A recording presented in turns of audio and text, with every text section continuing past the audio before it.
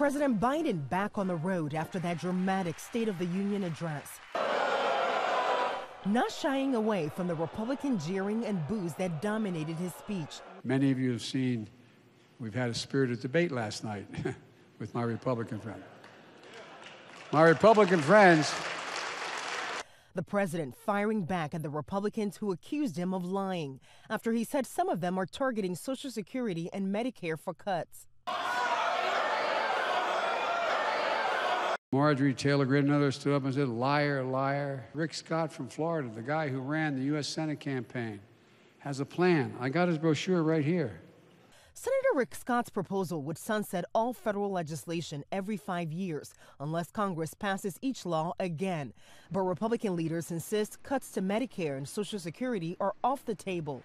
President Biden seizing the moment Tuesday to get the GOP on the record.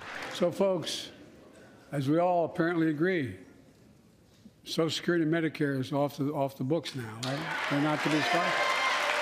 The president heading to Florida today to deliver remarks on his plan to, quote, protect and strengthen Social Security and Medicare and lower health care costs.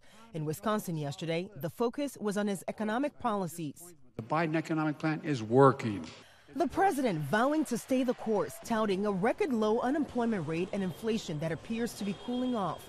But as he urges Republicans to help him finish the job, House Speaker Kevin McCarthy criticizing Biden's rhetoric. I thought it was probably one of the most partisan State of the Union speeches I've ever heard.